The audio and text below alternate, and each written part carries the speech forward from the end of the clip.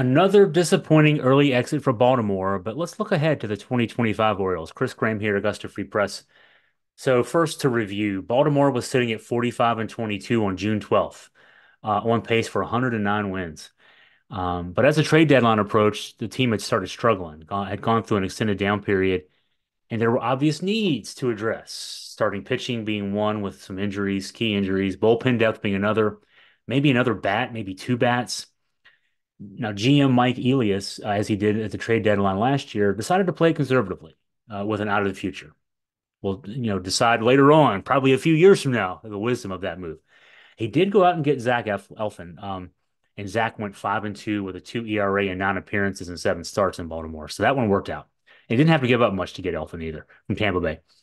Um, he gave up a lot, surprisingly, for Trevor Rogers, who even on paper was, you know, at the time from Miami, uh, was a head scratcher. Uh, he gave up Connor Norby and Kyle Stowers, two guys who got who have bats. Uh, that to, to get a guy who eventually he only started four games, did Rogers 0 2, 7 11 ERA, got sent down to AAA. So you gave up two of your top prospects for a guy who finished the season in Norfolk. Yeah, that didn't work out so well. The bullpen issues never got resolved. Um, you know, losing Felix Bautista to the late season arm injury last year. He had to have Tommy John surgery. You knew he was going to be out all this year. The O's went out and picked up uh, Craig Kimbrel, who started out fine, uh, ended up uh, being demoted from being the closer. He had 22 saves, but got demoted um, ended up getting released. He blew six saves this season, had a five five five three three ERA. That didn't work out. Um, Elias picked up Seranthony Dominguez and Gregory Soto from Philadelphia. Dominguez had decent numbers. He had 10 saves, 0 2, 397 ERA in 25 appearances. And Gregory Soto had a 1 1 and 1 record, 509 ERA in 23 appearances. That's not locking down things in the back end, though. That's just that's reality. Um, they had to give up Austin Hays to get there. Hays hit 256 for for Philadelphia, so you know two homers and 80 plate appearances as a as a extra bat for them. Um, the extra bats that Elias landed, uh, giving away some prospects to get Eloy Jimenez, who hit 232 with one homer and 100 plate appearances, and Austin Slater 246 with one homer and 79 plate appearances. So didn't pick up a bat, didn't really fix the bullpen one of the two starters worked out great. The other didn't work out at all. Um, and the goal again for for uh, Elias seemed to be, and you know, whatever the wisdom of this again will be decided in the future, but it was to keep the stock farm system as intact as possible.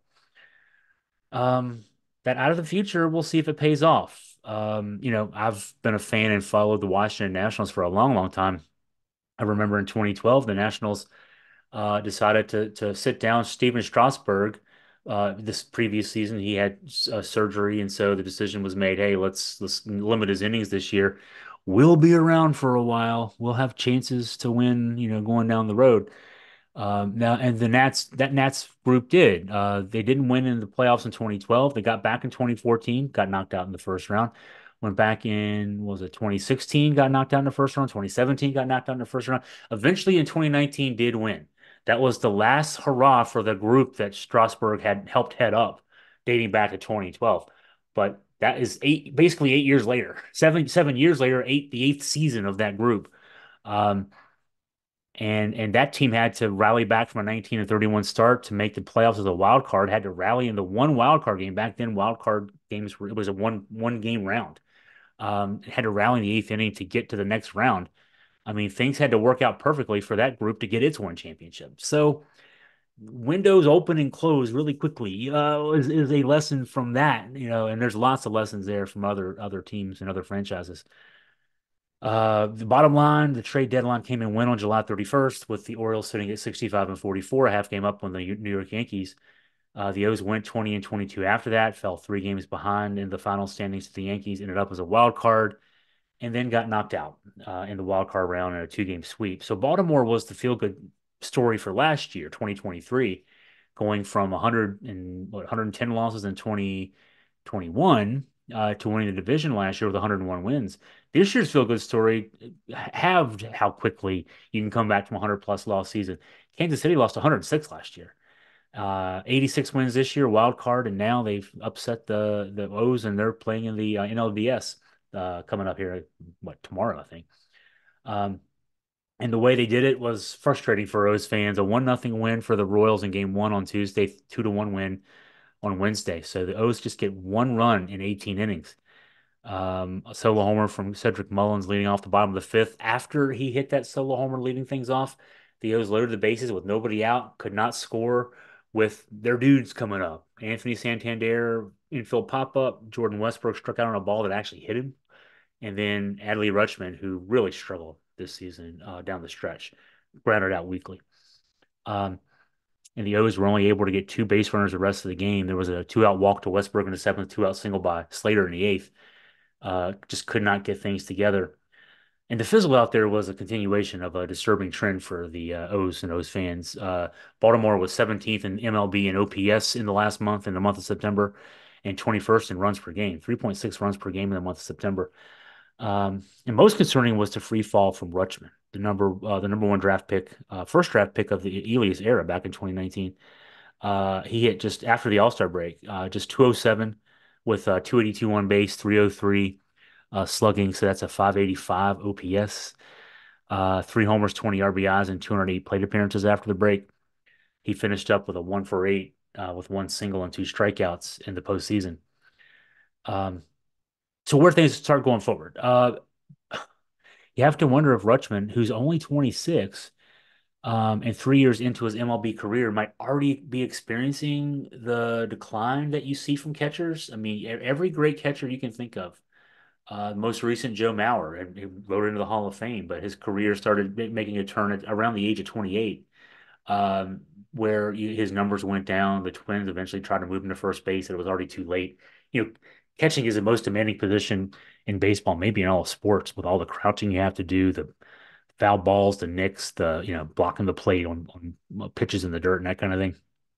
And their careers just, you know, you you see guys have you know good numbers, and then all of a sudden they fall off a cliff everybody can't think of anybody who who that didn't happen to. Um, and so hopefully that's not the case. Maybe there was just some injury undisclosed, and and and to Rutschman's credit, he played through it this season. And once he gets a chance to get some rest and rehab, you know, he'll be back to full strength next year. If not, uh, Samuel Basallo, uh, the number nine prospect in all of minor league baseball, is waiting in the wings at AAA. Uh, hit 278 this year with a let's see the numbers on that 790 OPS with 19 homers, and he's a great defensive catcher. Uh, he was he finished the season at AAA. Um, Basallo was one of uh, the untouchables for Elias at the deadline.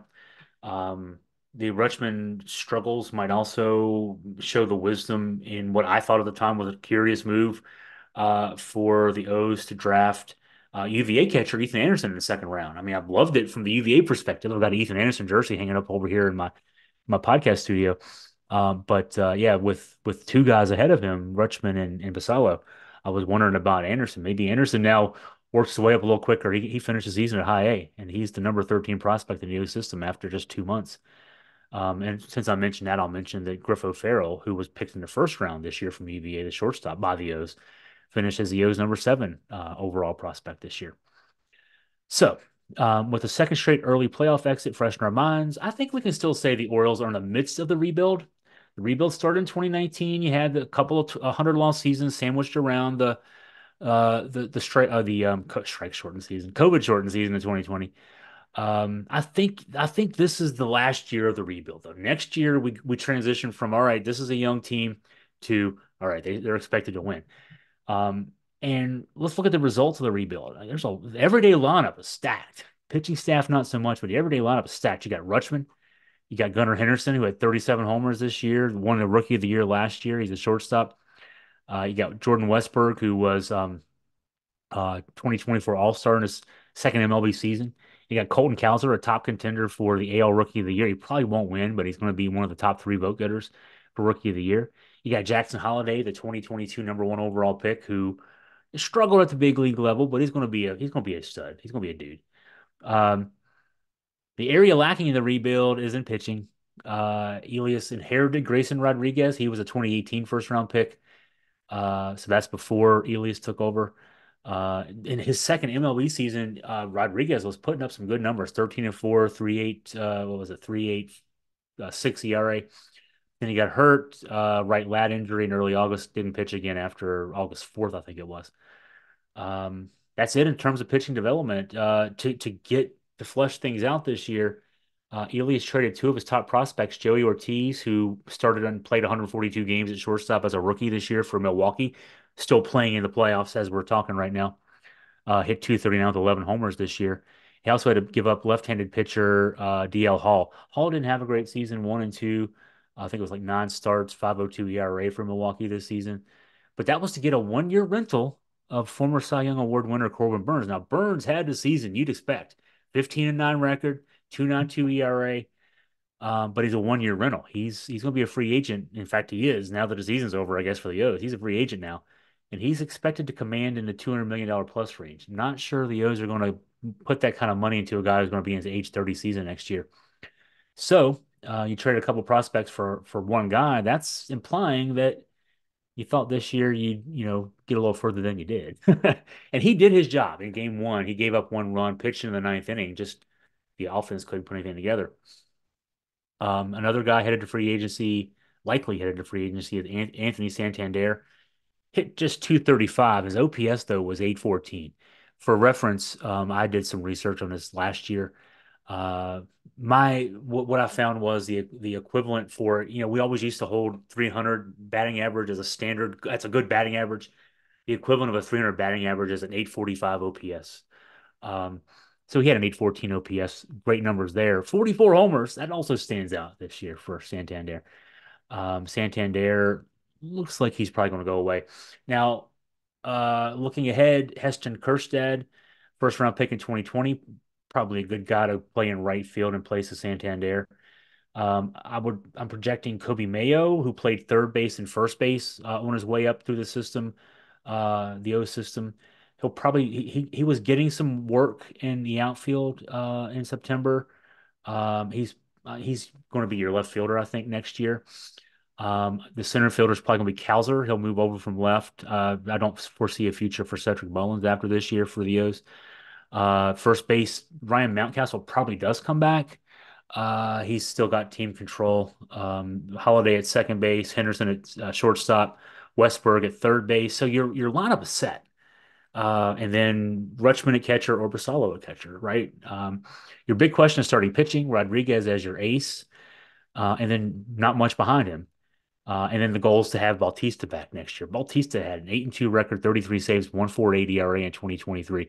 Most guys come back from Tommy John uh, and and are, are healthy and you know that kind of thing. So assuming you got that, you have to build a couple guys in front of him, set up guys. Yennier Cano seemed to bog down with the workload this year. He was a great setup man last year, all star himself last year. But to reinforce, I guess, as we're concluding here, the 2025 season is going to be an important one for the rebuild because I think the rebuild ends when we get to spring training next year. You can no longer say this is a young team. Um, this is a team now coming off back to back playoff appearances um, and early exits.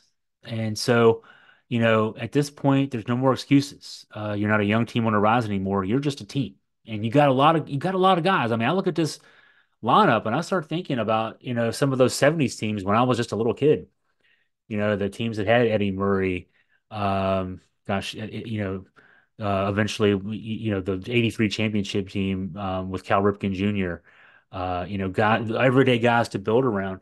It doesn't have the pitching staff those 70s teams did in particular, the year one year four 20 game winners. That's going to be the problem.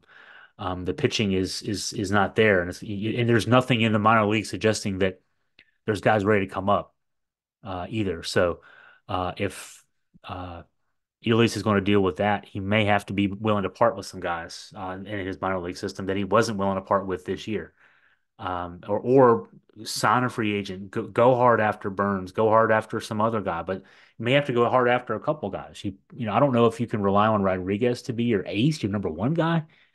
Uh, I love him as a number two guy.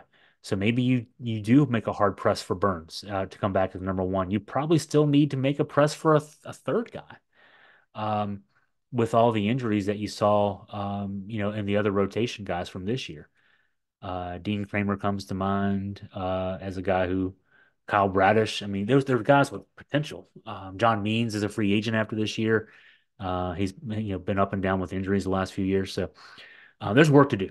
there's work to do. And it's disappointing to see the team in this way after 101 wins last year, after the 45 and 22 start, portending another 100 win season, to see it uh, implode the way it did. But um, there's a great everyday lineup, built some pitching.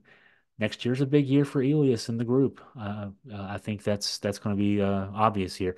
And just to say, when I was researching this story, as I'm wrapping up, I saw some uh, threads on some social media about the future of Brandon Hyde Brandon Hyde's the guy for this team. It, the, the, the flame out at the end of the season was not due to him. It was due to some injuries. It was due to the front office is not giving him enough pitching. That's not his fault. He he puts the guys out there he's got. Um, so, uh, if you have uh, any questions for me, any story ideas, any news tips, anything you want me to look into, please feel free to email me at chris at augustafreepress.com.